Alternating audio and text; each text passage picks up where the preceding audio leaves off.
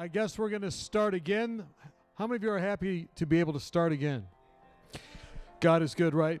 Now, look, we're going to sing our theme song, um, Marching to Zion number 422. Isaac Watts, a small man but high wattage. This guy changed the world um, with his hymns. I like to sing right out of the hymn book. How about you? The reason is because you use your frontal lobe a little more when you're singing the different parts. How many want your frontal lobe to be uh, on top performance? Excellent. So don't just sing your normal part, you know. I'm going to have to do that because I'm up front. But you guys sing different parts, okay? And switch it up so you wake up. This will help you wake up, by the way, this afternoon. Let's sing together. Come, we that love the Lord. Come, we that love the Lord, and let our joys be known. Join in the song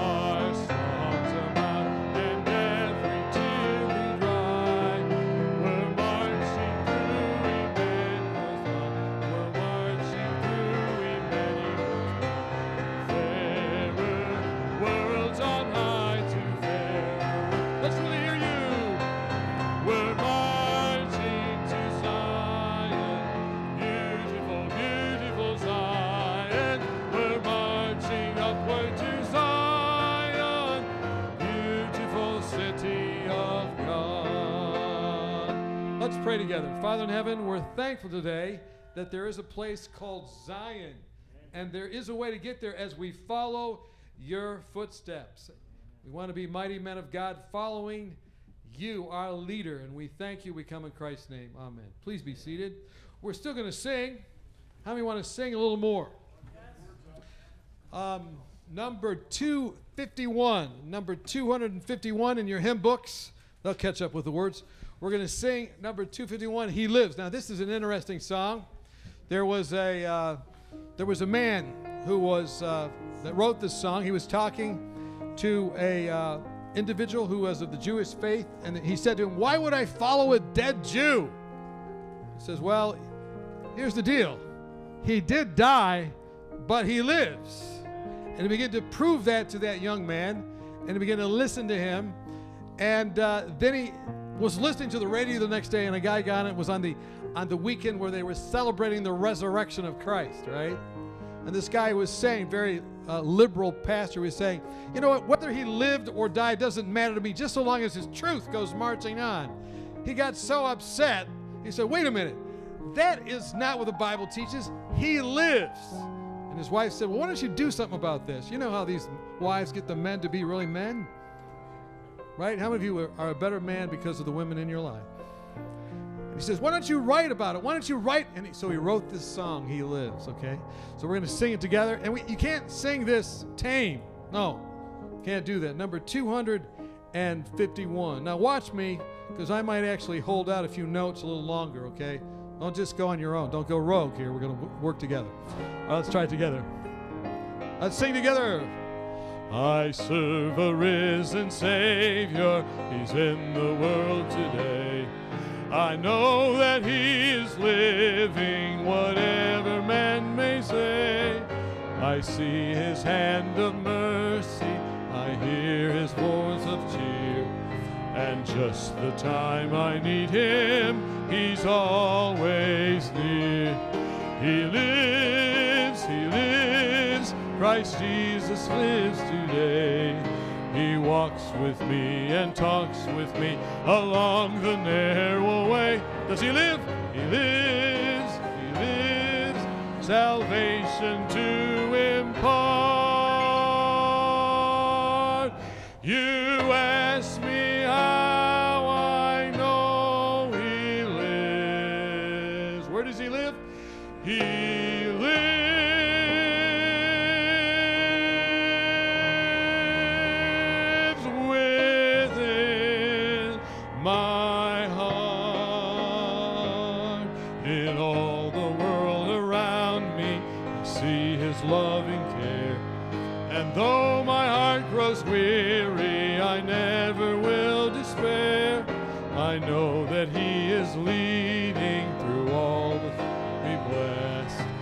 Day of His appearing will come at last. Let's hear you. He lives, He lives. Christ Jesus lives today. He walks with me and talks with me along life's narrow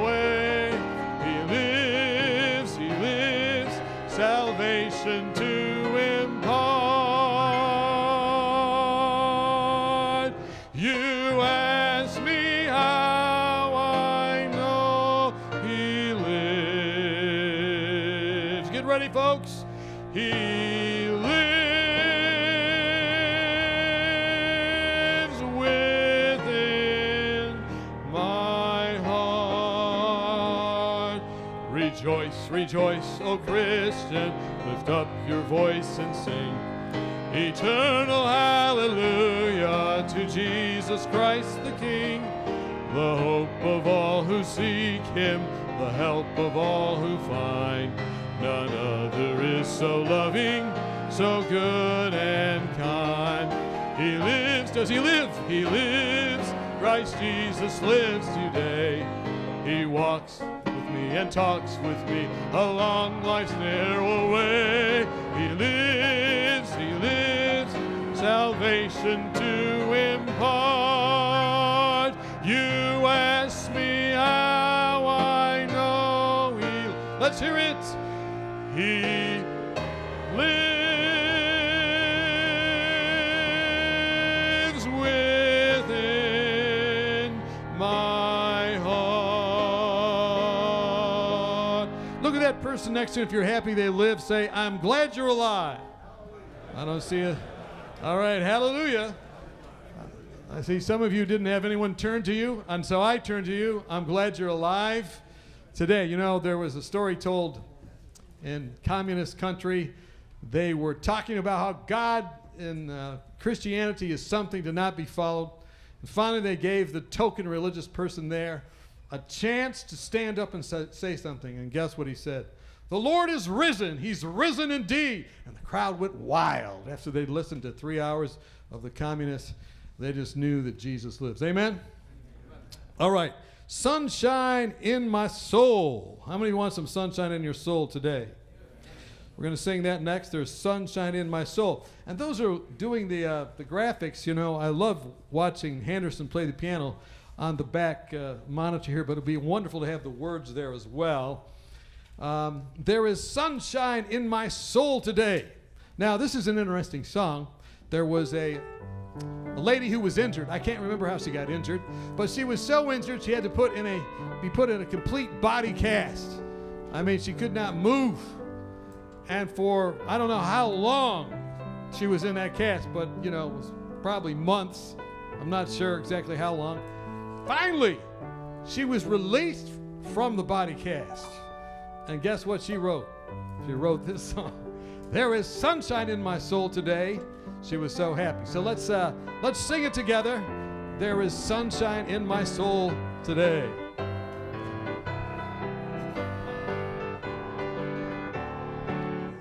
I'll cheer you. There is sunshine in my soul today, more glorious and bright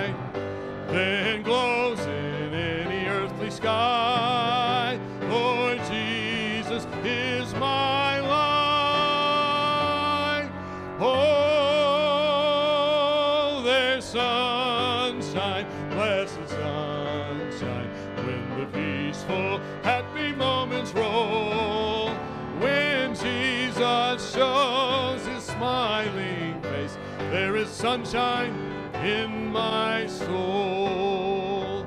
There is music in my soul today, a carol to my King. And Jesus listening can hear the songs I cannot sing. Let's hear you. Oh,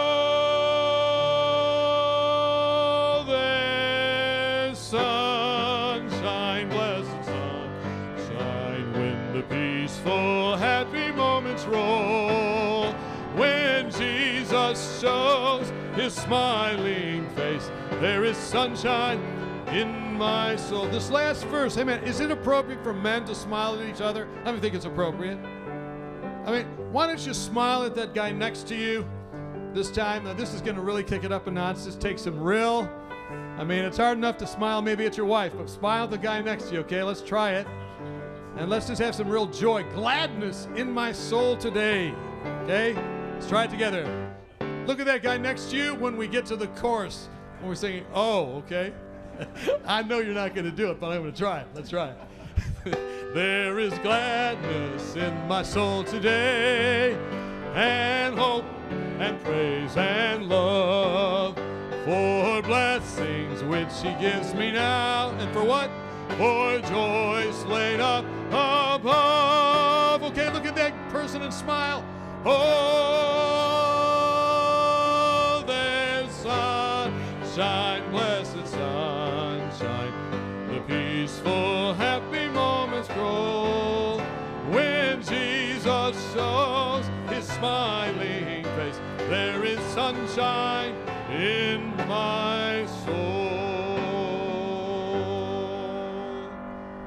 just feel happier right now? You know why? That music just has that, that sense of bringing uh, those happy neurochemicals out in your brain. We've got some uh, special numbers now. How many of you enjoyed the piano this weekend? Amen. So we're going to hear more of that right now. Henderson Pontel is going to be playing The Heavens Are Telling.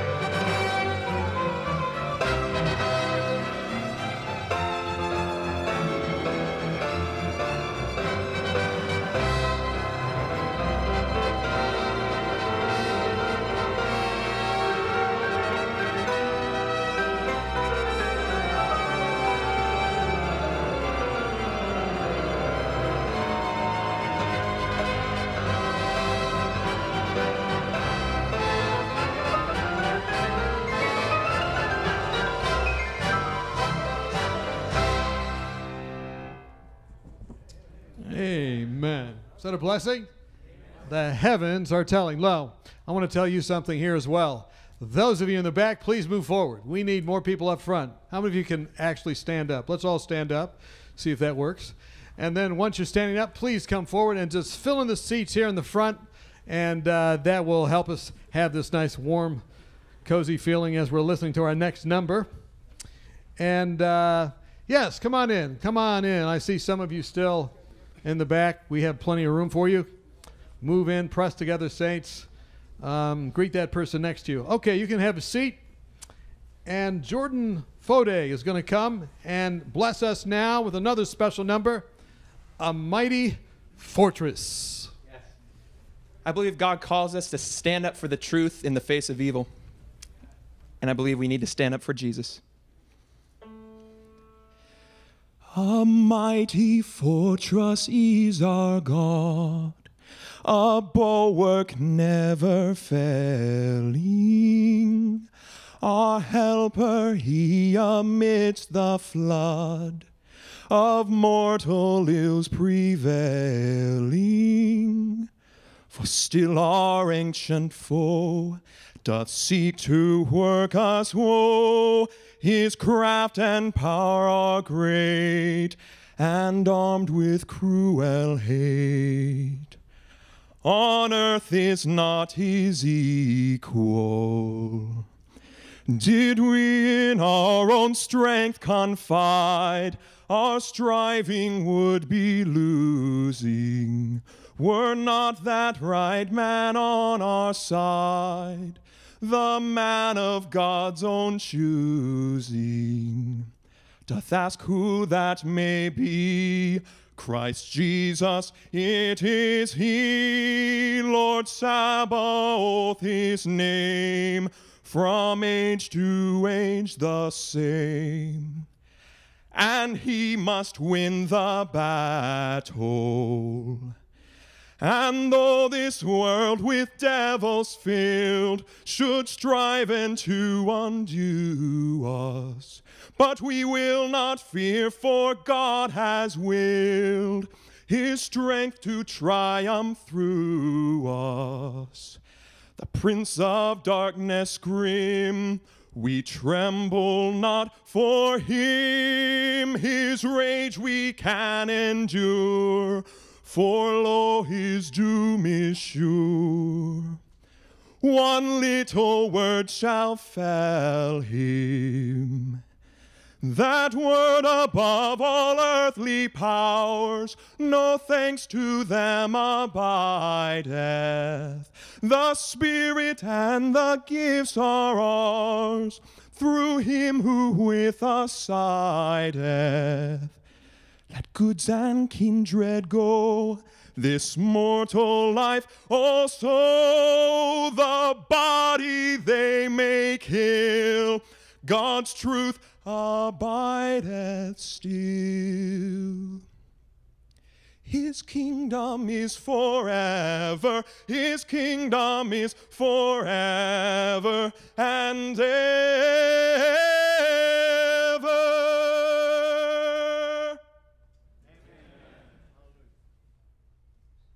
Blessing, amen. A mighty fortress. Well, let's sing one last song Rejoice ye pure in heart. How many of you want to be pure in heart? Number 27 in your hymn books. And we're going to sing two verses of this. We'll sing the first verse and the last verse, and then we'll be going into our question and answer period with Pastor Ross and Pastor Batchelor. Rejoice. Let's stand together as we sing this. We can't sit singing this song. Rejoice, ye pure in heart. Rejoice, give thanks and sing. Your festal banner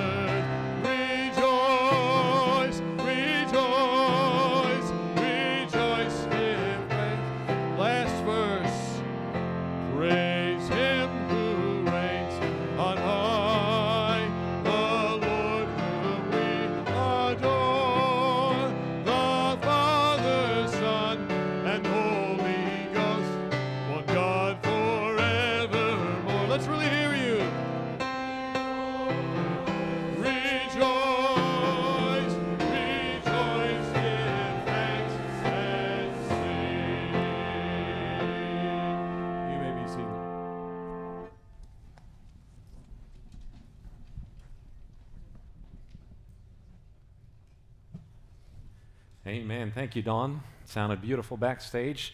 You have a group of men singing enthusiastically. Ah, there's nothing like it. Well, again, we want to welcome you to this special program, Mighty Men of God. And we do have some questions that came in, Pastor Doug. So we're going to take the next 15, 20 minutes and try and answer as many of these questions as we can. All right. How is everybody?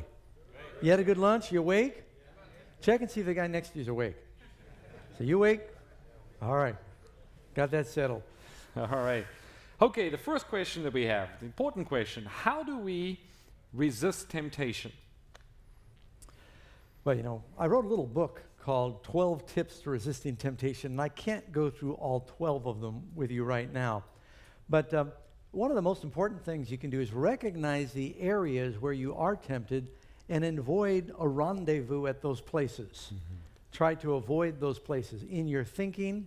Um, whether it's, you know, if you're an alcoholic, don't push your cart back and forth through the liquor section of the grocery store.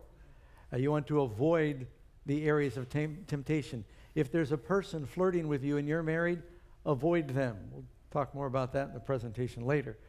But um, strengthen your faith. The Word of God is how Jesus met temptation. Every temptation, uh, Jesus said, it is written. And then you fortify yourself with prayer. But uh, there's a number of strategic things you can do, and uh, you might want to take a look at that book. You can read it for free online. It's called Tips for Resisting Temptation. All right, the next question that we have is um, Are there any biblical tips for a person struggling with a hot temper? You know, they say that the more shallow the pot, the quicker the water boils. You will increase your perceived IQ if you don't fly into uh, a temper tantrum uh, quickly. Uh, a soft answer turns away wrath, but grievous words stir up strife. I was visiting with my neighbor this week, and he was stunned because he just talked to another neighbor in the neighborhood and said, you know, if you could please try to keep your pit bull on a leash or in your yard, but you really shouldn't have him. Boy, as soon as he said that, the neighbor just flew off the handle, went into a rage, and uh, Soft words turn away wrath. Grievous words stir, stir up strife. And so uh, you can help avoid someone else losing their temper often by just dealing gently with people. Um, a man who can control his spirit is stronger than one who captures a city. You know, Mike Tyson lost his temper and bit off a piece of Holyfield, Evander Holyfield's ear, and he lost $300 million worth of fights because of that. That's an expensive temper. And so people have lost a lot more. I can tell you a number of stories. You got some in the Bible where people went and flew into a rage and made terrible decisions. And so just pray that God will give you rule over your spirit. All right, we have another question. It says, What is the best system that you have found for personal devotions? All right, very good question, practical question. And uh, one of the keys for being a mighty man of God is the personal devotions. We're going to talk in a little bit about the armor of God. What does that represent? The sword, the Word of God. You have several scriptures. The Word of God, chapter 4 of Hebrews, is quick and sharp and more powerful than any two edged sword. And the Bible tells us in Ephesians 6 the Word of God, the sword of the Spirit, which is the Word of God. And in Revelation, Jesus is pictured coming with a sword coming out of his mouth, meaning the words of Christ are like a sword. And so, uh, this is one of the most important ways for us to um, resist temptation in your devotional life. Um, Bible says, "Give us this day our daily bread." It's not just talking in the Lord's prayer about eating food every day, but for the believer, the Word of God, daily devotions would should be just as important. And you'd be surprised, a little bit can go a long way. You don't have to read 10 chapters of the Bible Sometimes you get low blood sugar. All you need is a granola bar and you're good to go for a while. And so read a few verses if you don't have a lot of time every day, but have a regular plan going through the Bible. Now, some people, I think Martin Luther is one who said, you can read the Bible the way you pick apples. First, you shake the whole tree and see what falls, because apples drop when they're ripe. And then you shake the branches, and then you shake the, um, the limbs, and then you go behind every leaf. First, get the overview of the Bible, the story of the Bible. Shake the tree. And then you might want to take um, a different book, study a book of the Bible, compare it to other books. There's so many great Bible study tools now online with computers that uh, it's actually been spoiling me because I can find things so quickly now. I used to have to go back and forth through the Bible to find a verse. Or I used to use those old big, any of you remember the big concordances, big Young's analytical exhaustive concordance. And you'd search through the word the 6,000 times. It's in there, you know, the. Find all the references. And, uh, but now with computers, you can really search very quickly. Um, I read my Bible every day on a computer. Uh, part of my Bible reading, I'm always, I use a computer program. There's free ones online like e-Sword. And it has a regular Bible reading program. So I'm always reading through the Bible every day except Sabbath because I'm touching up my sermon. You know, the manna fell six days a week, but none fell on the seventh day. So I, that's my excuse anyway. But um, you can study a topic in the Bible. You want to know faith. Take the word faith. Go through all the studies on faith. It can take you all the way from beginning to end. You can talk about the Spirit. Do a study on the Spirit.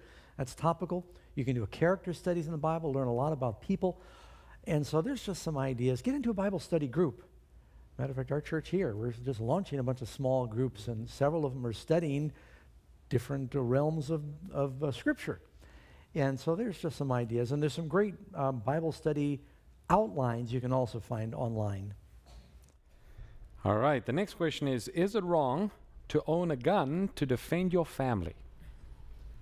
Okay, you know, this is in the news a lot uh, lately. People all talking about gun control. Now, what I'm sharing, I am saying by permission and not by commandment. This does not represent the official position of my church or anybody but me. But for me, I've always believed that a gun is a tool. That, um, granted, it is a very powerful tool, but it is a tool. People be, can be killed with screwdrivers and knives. A terrorist just slashed a bunch of people and killed them in, um, oh, I forget, it was overseas somewhere, with a knife. Um, I think people need to be very careful. If you are a man and you have a firearm, you want to make sure that it is not loaded in near children because it is a powerful tool.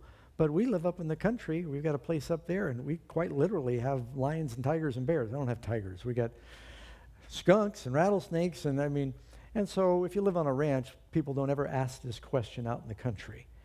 But um, there's nothing in the Bible, I believe, that says there's anything wrong with a person defending their family. The idea of turning the other cheek if someone smites you doesn't mean that you need to allow a home invasion. You know what I'm saying? If you're a man, a matter of fact, even jo- Jesus talks about in a parable a strong man defends his house. If you want to take the strong man's house, you must bind the man. Why? Because otherwise he won't let you ransack his house.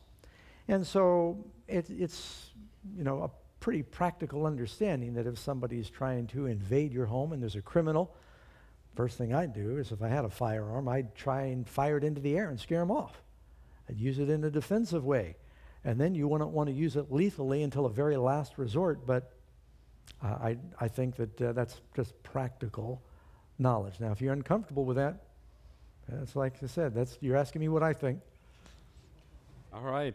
The next question is How do I show support for my spouse if she is unwilling to support me? Well, aren't we glad that God supports us even when we don't support Him? And aren't you thankful the Lord protects you and remembers you even when we forget about Him? Isn't that a good thing? And so uh, I think it's. Um, uh, we need to be loving and supporting. You know, give and it will be given unto you. Sometimes you got to be the first one to take the initiative, to be loving, to be supportive, to give. And uh, yes, even if your spouse you don't feel like is supporting, you don't overcome evil with evil. You don't retaliate. You don't play the silent game. You um, overcome evil with good. You be loving. You be considerate.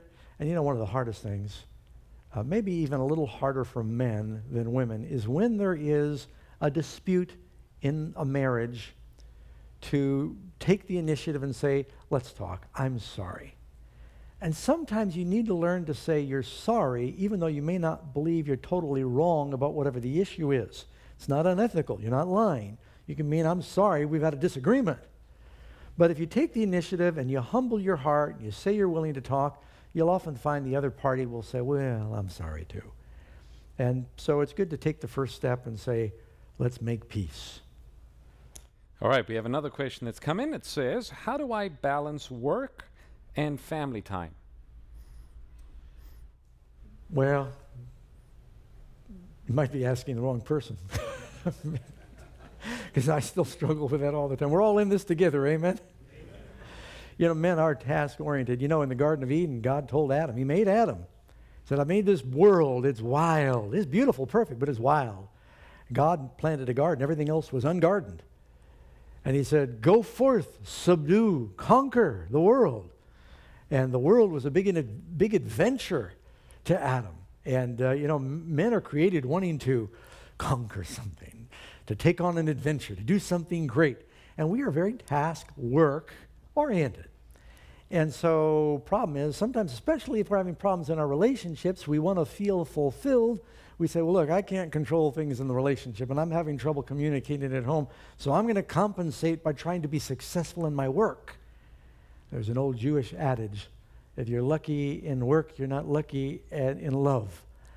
And uh, it's often because people are working so hard that they're neglecting the personal relationship. It is a constant, ongoing effort that a person needs to make to spend time with your family, to spend time with your spouse.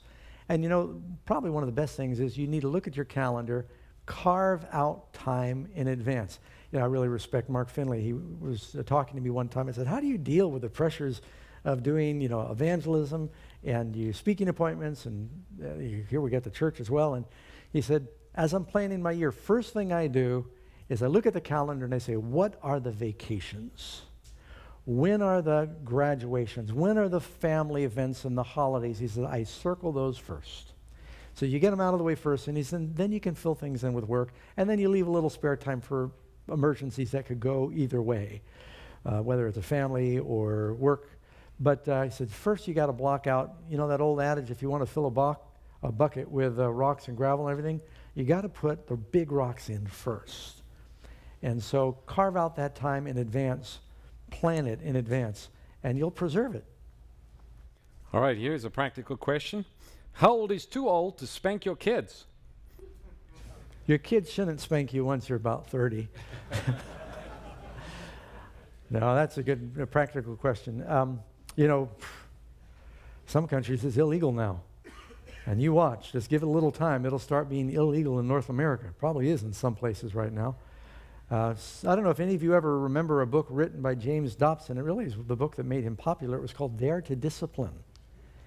And he talked about the balance, and I think the book is still for sale, of how to love your children and guide them. And there was even a time for uh, measured corporal punishment.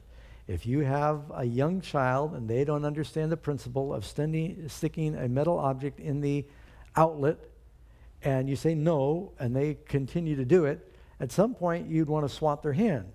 And you make um, an association between pain, when I stick the screwdriver in the outlet or the paper clip, I feel pain. Don't do that. Uh, if they're walking, if they keep riding their little tricycle out into the street and you say, do not go out in the street, I tell them, do not. You can't just tell them to have quiet time. If you want to save their life, you might have to uh, paddle them on that place that God has prepared. Uh, but at some point, they get a little older and you communicate with them then, um, and you know what that age is, it's probably a little later for boys than girls. You know, girls have tender hearts, and often you just, you raise your voice and they melt. They start to cry.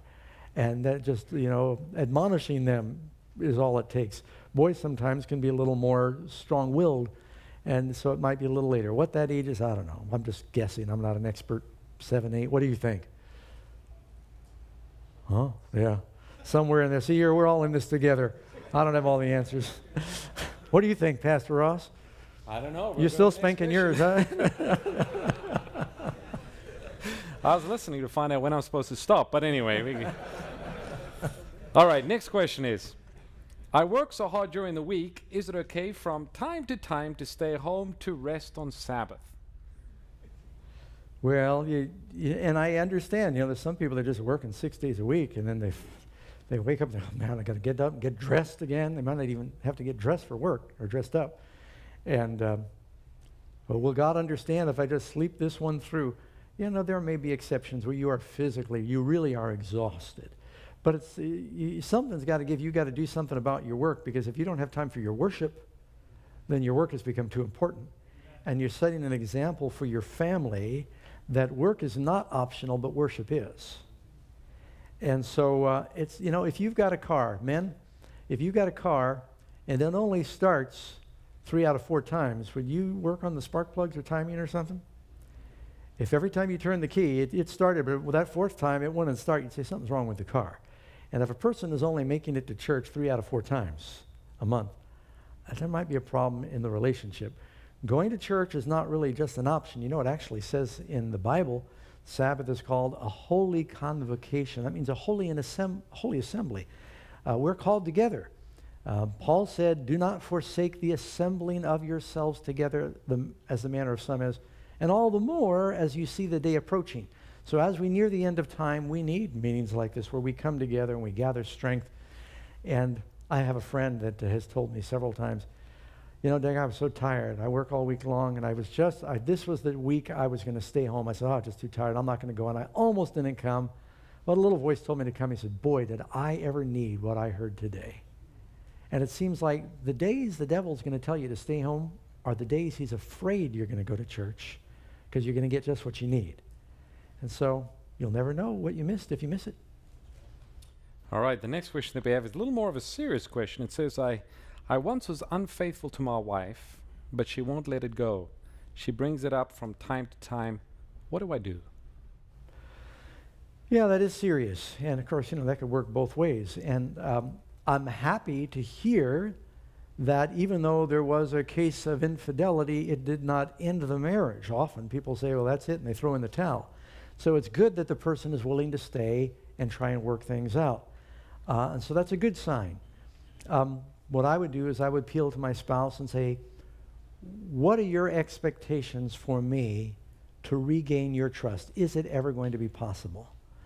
Um, do our, everything you can, and don't expect there not to be consequences. So if it has damaged trust and if it has damaged the relationship, you earned it. There's going to be consequences. Accept that.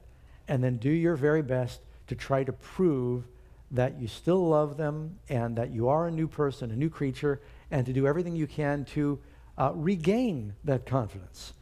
And so, you know, people sort of come to the table in relationships with a certain amount of trust that can be added to or taken away from. If you violate trust, you've heard the expression about hell hath no fury like a woman, woman scorned. If you violate that trust, it takes a long time to win it back, but it can be done. I've seen it done. And you just have to be patient, pray, and you have to overcompensate with love. All right, the next question that we have is What is the relationship between faith and works for the Christian? Well, of course, we are saved. You want to be careful not to leave a person with the impression that we are saved by works. But if we are saved by faith, which we are, it'll be seen in works. Um, it's like James, James and Paul almost sound like opposites, but they're talking to different groups. Paul is talking to legalists that think they're working their way to heaven, and he emphasizes faith. James is talking to people that are talking about faith, and they don't think that their actions mean anything because, last we believe. And so he starts to emphasize the importance of uh, having practical Christian works. Uh, really, both should be in the life. The Bible says that we are saved by grace through faith for works. And so works is not a dirty word. Works means your actions. And so there should be actions. I remember C.D. Brooks, who passed away this last year, used to tell an illustration about this man who struggled with drinking, and and his wife was uh, getting exasperated. He'd come home drunk, and she'd he got tired and she'd lock him out and then he'd stand downstairs and he'd billow up to the second store and say honey let me in. I'm sorry. I'm late waking up the whole neighborhood. I, and then he'd say i love you. Let me three words i love you. And she'd get tired and open the door. This happened often. And she kept relenting when he'd start to be out there howling three little words i love you. And then one time she just got so tired of it and she, he said three little words i love you. He's staggering outside drunk and she opened the door. She says, I have two words for you. Prove it. And then shut the window. So if you love, you, you demonstrate that love. Uh, we shouldn't be loving in word only. Jesus talked about those who draw near with their mouth, but their heart is far. It's easy to talk about God and love for God, but uh, it's like that bumper sticker It says, uh, if you love Jesus, honk. Any of you remember that one? Yeah, you got to be careful because there might be a lady that's a Christian with a bumper sticker, and then her husband's got the car and he's not. And you come up behind and go doot doot and smile, and he may not be happy. but I saw another bumper sticker. It said, um, If you love Jesus, tithe, anyone can honk. If you love Jesus, tithe, anybody can honk. And so there's a lot of honking Christianity out there. But if you really love the Lord, it's not just your faith, it's your works. You show your love. Amen. All right, Pastor Doug, I think we got our final question for this afternoon. Who is Melchizedek? Melchizedek the king, you find him mentioned in the book of Genesis when Abraham is coming back from this battle. Uh, Lot was captured by these five kings north of Israel, and uh, Abraham rallied all of his soldiers. He had like 300, I think, and 18 soldiers among his, his clan. And then he got together with two other sheiks in the country, and they went and they attacked these uh, Chedorlaomer and his kings. They totally routed them. They rescued Lot and all the people who had been captured from Sodom and Gomorrah. You know, God saved the people in Sodom and Gomorrah before he destroyed them. And uh, on his way back to Hebron, all the bounty of war really belonged to Abraham because he led the whole battle. And it says he stopped in a place called Salem, which was later known as Jerusalem, or Shalom, means peace. And there was a king there whose name was Melchizedek.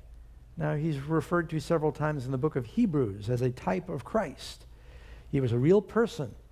It says, like Christ, there's no genealogy. In other words, no beginning or end. We don't know where he came from, or it doesn't tell what happened to him afterward. He suddenly appears and disappears. So Paul says he's almost like everlasting everlasting, in that he doesn't have beginning and end.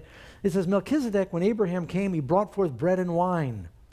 That's a symbol for, like the New Testament, Jesus has the bread and he's got the grape juice. And the name Melchizedek means king of righteousness. And he was a king over a place called Salem, which means peace. And so here's this Melchizedek. He's a type of Christ. He's king of righteousness, king of peace. He's a high priest. And Abraham pays tithe to him. The big question is who is he? He's somewhat of a mystery. It doesn't say what people he was from. I've heard some speculate, and I think there's some ancient uh, Jewish writings that say Melchizedek was Shem. I can't prove that, but it is true. Shem, the son of Adam, was still alive and very old during that time.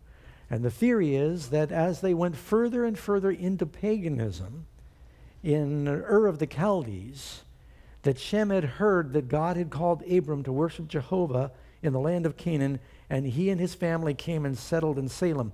And the only person who would be greater than Abraham, that would be called a priest of the Most High God, is someone who worshiped the same God. And so uh, that's one solution I've heard for the mystery of who was Melchizedek. It's a very interesting theory. Can't prove it one way or the other, but um, he was a type of Christ.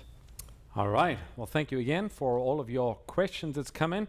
We're out of time for Bible questions, Pastor Doug, but uh, we're not done just yet. I'd like to invite Tony to come up. And uh, those of you who came in, hopefully you all just registered by writing down your name. We have a Bible we would like to give away at this time. It's an Amazing Facts Study Bible. So uh, we're going to dig around in here and see if we can find a card. And Tony, you're going to tell us whose name is on the card there. Kevin Grinder. Grind?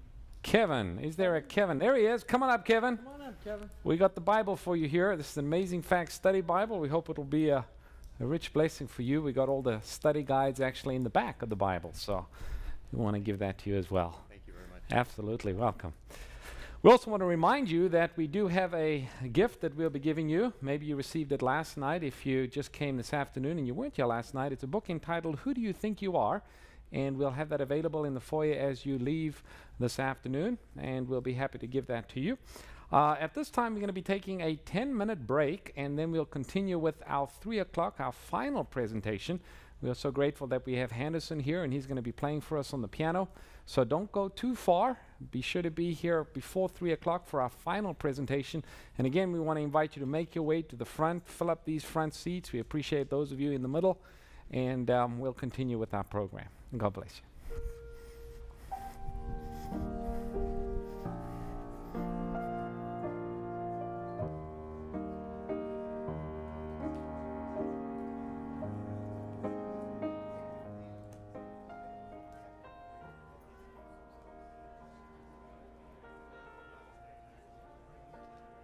You know, friends, one of the fastest growing forms of crime out there right now is identity theft.